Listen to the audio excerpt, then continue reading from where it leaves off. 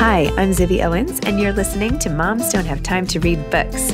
This 30 minute podcast features a new author interviewed by me every single day, 365 days a year, for about 30 minutes. I am also the publisher for Zibby Books, which publishes 12 books a year in fiction and memoir. Our books are already out now. You can check it out on zibbybooks.com. And we have a magazine called Zibby Mag, where we have lots of wonderful essays and lifestyle features. That's at zibbymag.com. We have classes at zibbyclasses.com. And I recently opened a bookstore in LA called Zibby's Bookshop at 1113 Montana Avenue at 11th Street in Santa Monica. I hope that you are able to enjoy some of our other offerings. But this here podcast is the basis of all of it and started in 2018. And no matter what I do, this is basically my favorite thing. Enjoy.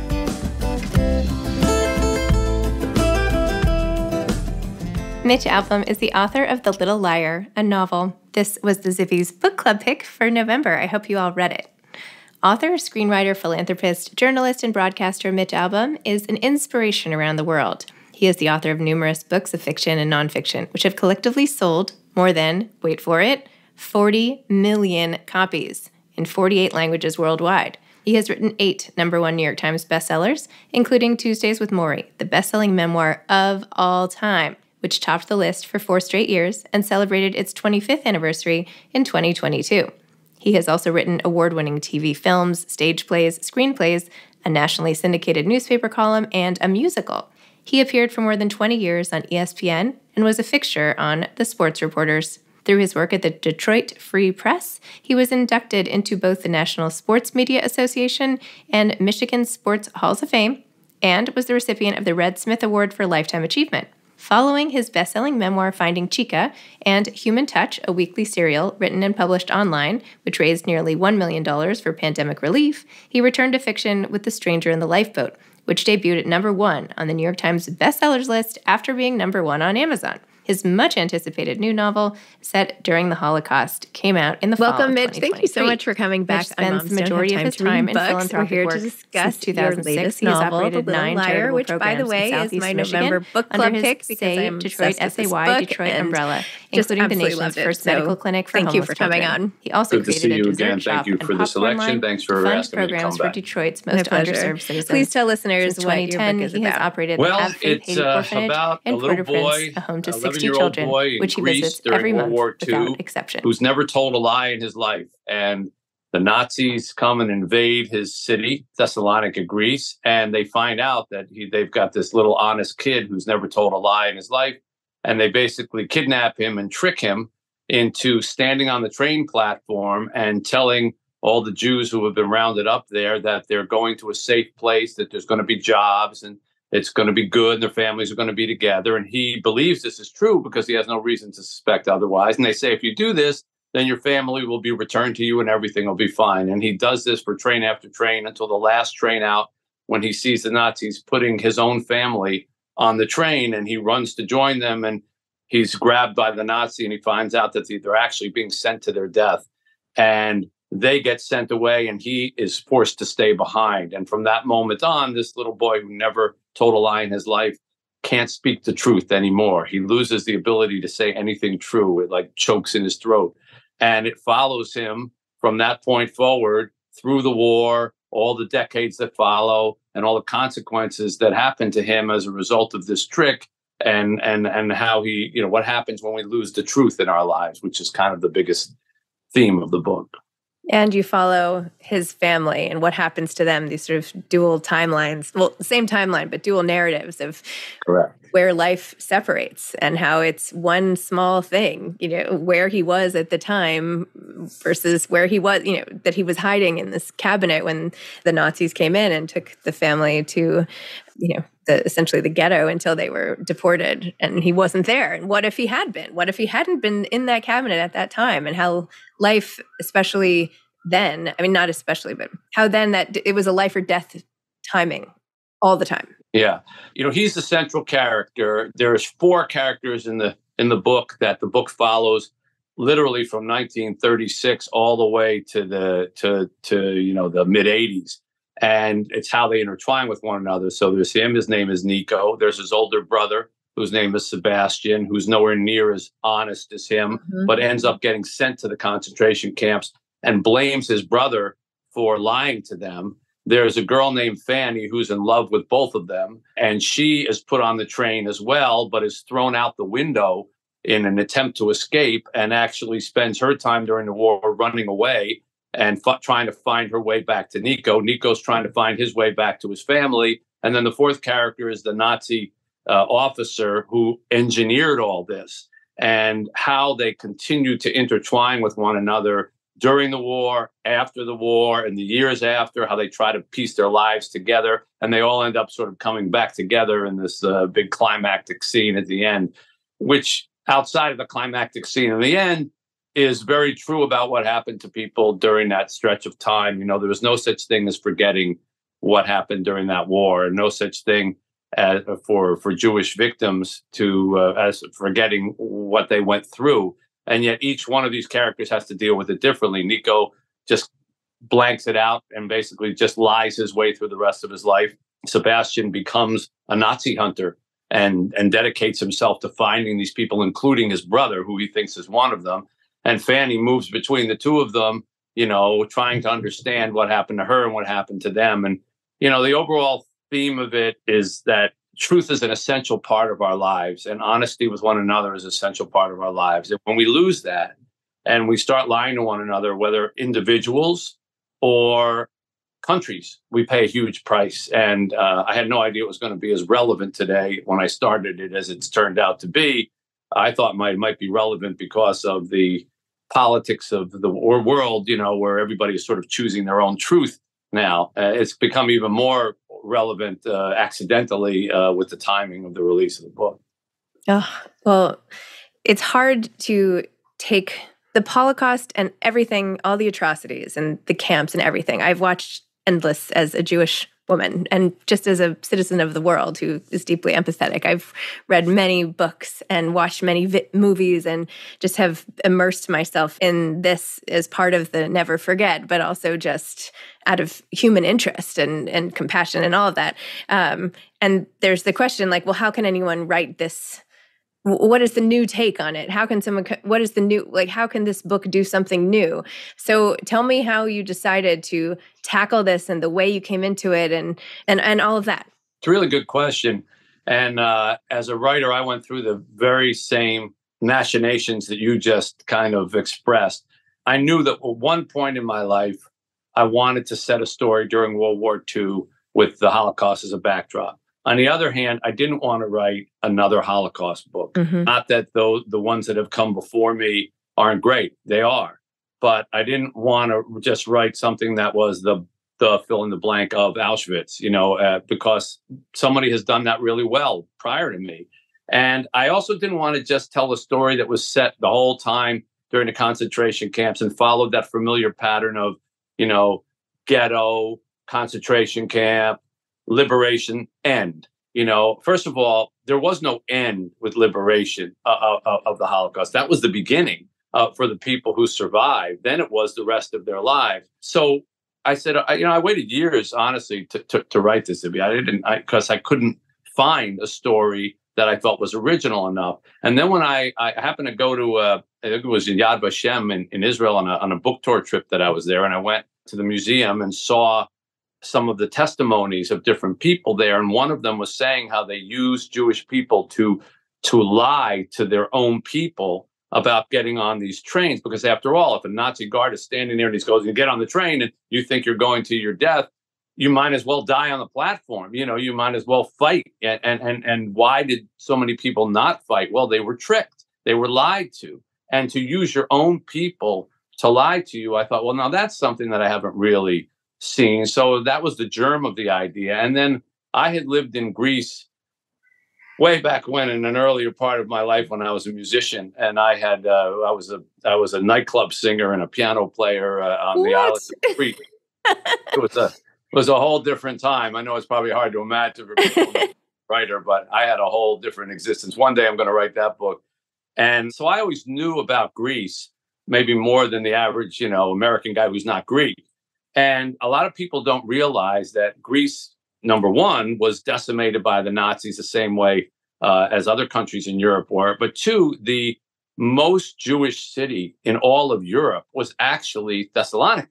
Uh, that's the, was the only city in all of Europe that had a Jewish majority population. They were the majority. And can you imagine a city that had a majority Jewish population having itself wiped out? I mean, you know, there were 55 something thousand Jews there, and there were 1,500 left when the Nazis were done with them. And so I said, all right, let me set a book in Greece. Very few Holocaust books are, are set there. Uh, let me focus on the idea of truth and lies and how sadly, it was Goebbels who said this very famous quote, or at least is attributed, you know, a lie told once is easily seen as a lie, but a lie told a thousand times becomes the truth. Mm. And that's exactly what the Nazis did, you know, by repeating the same lie over and over about whose fault uh, Germany was and whatever, and how they were they were just purifying the country, and this was all for the good of the state and all that. And meanwhile, it was just mass murder. And that's kind of, you know, we live in a world like that now where people justify their actions with their own truths. And they just sort of say, well, this is the truth and accept it. And people say, yeah, all right, that's my truth. That's my cable TV news station. That's my uh, uh, an a- analyst. And, and, and that's how I'm going to look at the world. And the idea of there being a pure truth has disappeared in place of I'm going to pick my truth and I'm just going to follow that. And that's a very dangerous pattern. And so I wanted to show how it was the precursor of that already happened. We already saw what the world can be like when people start to believe something that is not only not true, but is evilly not true. And so I thought, okay, there's a story that at least I haven't read before. I can start to write it. And that's how I approached it. Wow. Well, the end result is it is original and it does it's told in a way also with all the different characters and you know the intertwining lives and the thought-provoking nature of what you were saying in the aftermath what happens what are the long-term effects? I mean there are also all these studies on you know children of survivors and like the ripple effects of generational trauma which is now in the news all the time. And that's you know this it, this like tiptoes to towards that not you know in full but you know what are the lasting effects? And and to your point of of sort of hatred. I mean, it's ter- it's terrifying. So, and to think that it couldn't happen again, and and things happening today, it's it's just it's all very very terrifying. And I feel like the scenes in your book are just incredibly sort of prophetic and just I don't know. It's it's very very important, especially now to read this book. I feel. Well, I, I, know as I'm listening to you, first of all, I appreciate the kind words, but then I'm also getting a little scared that I don't want my readers who are used to reading my books to feel like my God, he's written a terrifying book. And uh, no, I'm terrified. No, I'm sorry. uh, well, uh, you know, but it's something that I think about, not because you said it, but you know, sometimes when people hear the word Holocaust or whatever, oh, that's too hard to read, or I don't want to read that. Uh, you know, I tried to make. First of all, there's a very, very uh, sweet isn't the right word, but I think en- engaging love story between Fanny and well, first the older brother and then Nico. She spends her whole life basically trying to find him again because he saved her life during the war. And the redemption that you get from love, which is the flip side of what you were talking about, about, well, how do you survive something, the worst thing that you can possibly think? Mean, if someone can think of something worse than what happened during the Holocaust, send it to me in a letter because I'll write a book about it because I can't imagine it. You know, it's it's it's horrific and yet people did live you know and Viktor Frankl's book and all that proves you know that there's life beyond that. And but but what kind of life? And how do you get back from that? And the second half of the book is all about that you know mm-hmm. what what you do with this tragedy or the result of these lies. And hopefully if you agree with me you read it you know in the end it, it has a, a redemptive positive message about it. It's not just horrific or terrible or terrifying scenes or things like that.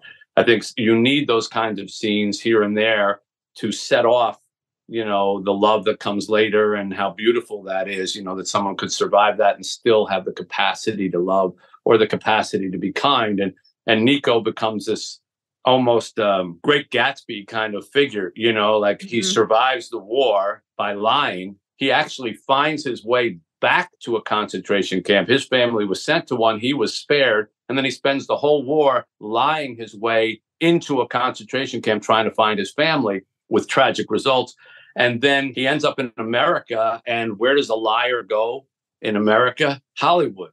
uh, you know, because it's perfect. And he ends up becoming this very, very successful but reclusive movie maker, you know, like the head of a studio, but nobody mm-hmm. really ever spends time with him or knows him, whatever. He keeps changing his name and and he's very mysterious and you don't know what he's really doing with his time it just seems like it's like well that you know all he does is make up lies and he can't even he can't even answer if they say like you know what do you have for lunch today and he if he had soup he'll say pizza just because he can't tell the mm-hmm. And yet, all this time, there's something going on. I don't want to ruin the book for anybody, but there's something going on with him that that you know is redemptive. And when he gets to see Fanny again, there's this beautiful love story that they, you know, they pretend they don't know each other because neither one wants to bring up, you know, the terrible things that have happened. And I thought that that was also interesting too to do a love story where n- neither party acknowledges that they know each other, and yet they fall in love with each other. I've not seen that before. So so uh, you know, there's many things besides the you know the, the the awful things that people went through during that time. Yes. And I did not mean to overly emphasize. Those were just pieces of it. It was a beautiful love story. I mean, essentially, it's about people, right? It's about people's lives. And even if you go through something, there's the rest, you know. So, no, I did not mean to overemphasize. No, we have movie stars and really close friendships and, you know, Fanny, not to give things away, but the relationship of of the woman with Fanny and how that stayed over time as well and just the good nature of people the desire to help and all of that it shines through completely. So no it is not just about that. It's about life and it's about what's important to us and what it means to be sort of a good person in, in the end and how that can manifest itself in so many different ways. What does it mean to sort of be good? How do you give back? And all of that. I feel like there are a lot bigger questions yeah, it's also narrated by a truth, which is uh, something I tried once before in one of my books. A number of books ago, I wrote a book called "The Magic Strings of Frankie Presto," and I had the music was the narrator because mm-hmm. it was a mm-hmm. book all about a guitar player. And I really liked that voice. It gave you like a perspective that was different from either the third person or the first person. And so in this case, truth is the narrator of the book.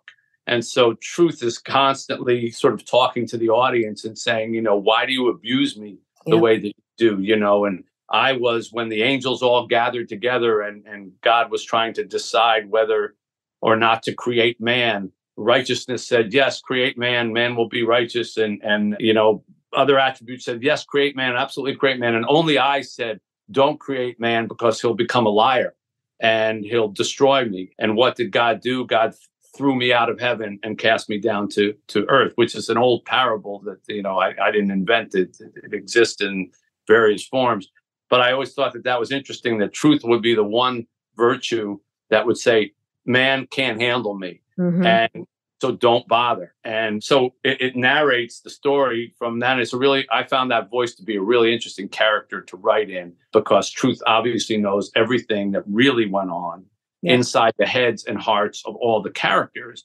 And so it has a unique perspective to tell the story. Very true. It was really powerful. How did you go about writing this? Did you know Truth was going to be the narrator? And yeah, you did. You knew from the start. Yeah, that was from the start. I knew there's a, a lines early in the book. You know, you can trust the story you're about to hear. You can trust it because I'm the only thing you can trust and I, I, knew I wanted to include that line. And you know, there's sort of like when you write a book, there's sort of for me, I, everybody does it differently, but there's sort of like uh, anchor sentences that you know you want to say, and you plot, you kind of stick them in the ground, and one goes here, and one goes there, and then you, you kind of write in between them and find your way to them. And and th- that that was one of them, and and the fact that uh, you know a, man to be forgiven will do anything. You know there was there's when i went to salonika to research this book there's this big structure there called the white tower and you can't miss it. It's it's it's spectacular. It's big round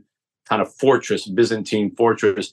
And i asked my guide you know what's the story about that? And she told me this amazing story that for years it was built in the 15th century or something and for hundreds of years it was a prison and they used to call it the red tower because there was so much blood shed inside and outside. They used to hang people from the outside of it, and, and, and you know, people died there.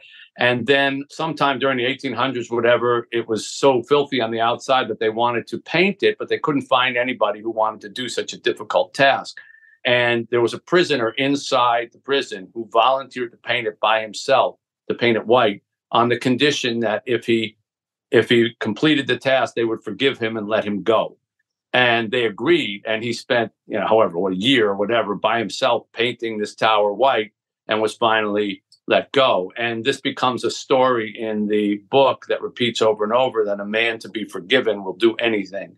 And and that becomes a theme uh, for Nico, you know, who deep down is, you know, can't forgive himself for telling these lies, even though they weren't his fault, and what he'll do to be forgiven. And I think that that's a theme that we have in, in our lives as well. What will we do to make up for a sin that we that we realize we committed? You know, how far will we go? Some people spend their whole lives in retribution you know, for something that they felt that they did when they were younger. You know, some people who feel like uh, they were bad parents, you know, spend their whole lives being trying to get great grandparents so that they can make up for it. You know, there's, there's all kinds of ways that we sort of do that. And I, I just thought that that story in Greece, which was such a great, you know, setting, uh, you know, a, a guy who you can just see that guy in the tower every day trying to paint over, thinking if I just can finish this, I'll I'll be free, you know. And uh, it plays a big part in the in the story. I didn't realize that was true. Yeah, it's true story. Even more powerful to know that. Yeah. Are there things in your life for which you're seeking forgiveness? Yeah, many, many, and also, you know, even uh, making up for missed opportunities. You know, like uh, we, when I was, when my wife and I got married, we weren't able to have children and you know sort of accepted that that was well that's the way it's going to be but i always also felt a little bad that maybe we, i kind of dragged my feet when we got married and you know maybe if we got married sooner something would have been would happen differently and uh, then in our, my 50s uh, i ended up taking over an orphanage in haiti quite by accident it's a whole other story and all of a sudden, I have all these children in my life. Now I have 65 at a time. You know, we have three right upstairs here now living with us. Got 13 out in the state here in college, and another 60 down in Haiti that I go visit every month. And I have so many kids in my life that sometimes I wonder if I'm not doing that because it's a bit of a makeup for, you know, an earlier part of my life or something I felt that I did wrong you know, I hadn't thought about that until you asked me. But yeah, I think everybody has something that they're trying to uh, atone for in some way, you know, even if it really wasn't a sin. And, you know, Nico certainly does that. And in fact, all three of the characters do. You know, the only one who doesn't is the Nazi who continues to be the Nazi all through his life. He just wants to, you know, but even his way, he's trying to, you know, get back to what he believes is, uh, you know, he wants a, he wants a second right to appear and you know and and and, and bring this all back. And it also uh, explores the idea which i you know a lot of people didn't realize until al pacino and the, that gang made that show the nazi hunters that you know americans did harbor nazis and brought them over after the war because they wanted to fight the russians and and and kept them here with phony names and phony i mean you know and never made them pay for their crimes because they used them you know as scientists to try to spy on the nazis. And and he's one of them. And so a continued lie you know goes on and on even even for him. I was hoping that part was not true no. in fact almost everything in the book is true except the characters and the way they played out you know i don't know if i i don't know what qualifies you as historical fiction it seems like a very lofty word to me and i don't i don't think of myself as that kind of a writer but i realize like both in frankie presto and in the little liar you know, I, I spent an inordinate amount of time on research, making sure that all the backdrop stories were accurate. And, you know, from the dates that things happened to even the little small anecdotes like about the White Tower or things like that, it was it's all true. And so I don't know if that makes it historical fiction or not, but there's a lot of history actually in the book. And I think when you when you're writing about times like that, the truth is more interesting than something that I could think up. You know, it just rings. It's like a real bell versus a plastic bell. You know, a real bell just has a certain sound, and you can ring a plastic bell or hit a synthesizer note that's supposed to sound like a bell, but there's something about the real ring of a bell that sounds different. And there's something about, you know, using real events, but mixing them into your fictional characters that um, rings more true. And it's interesting you say, I didn't realize that that was true, but it felt true in the book, right? Yeah. Yeah. So, well, it actually was. That's what. I mean, I, I didn't doubt. I don't know. I, I, I don't know. I just didn't even think. I thought it was just such a great story that it couldn't be true. like, oh, Those that's a perfect. You know, yeah, that's a perfect.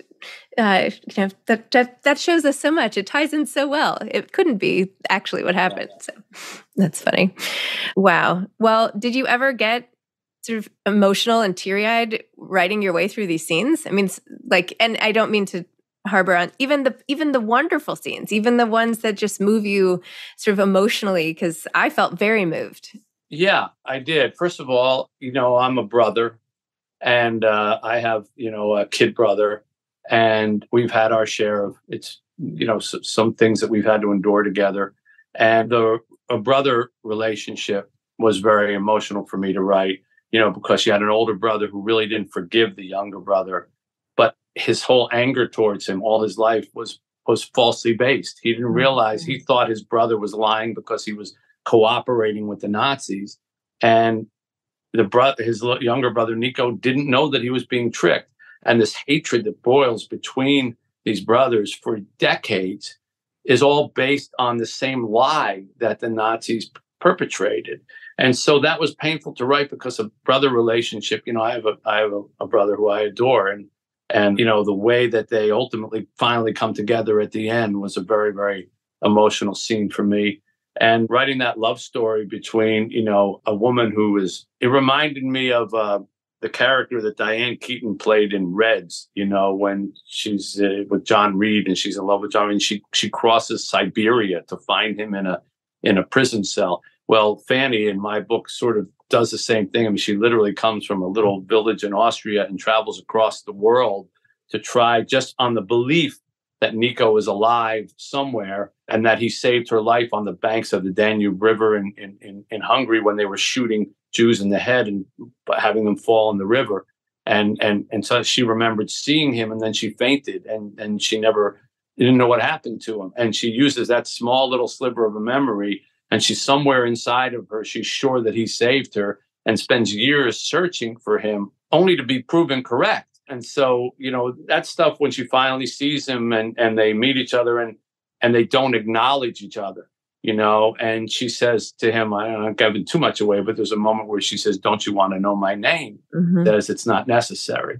And you know that like i get chills when i'm even talking about it because you know you create these characters and and you know they're they're deeply in love with each other but they can't express it. And of course the ending which i don't want to go into was very very emotional to write. And so yeah i would kind of find to be that uh, if you're not crying a little bit you know if you're not you're then you're not doing a good enough job. If i can just be so dispassionate and just write it but i expect all the readers to be moved i'm not moved but i expect you to be moved that's not going to work. If if you're not moved yourself you don't feel a little chill or a little a little tear or something when you're writing it then it's probably not very good. That's very good advice. Very good advice. Mitch, thank you so much. Thank you for sharing. Thank you for the story, the journey, for giving hope in a dark time, honestly.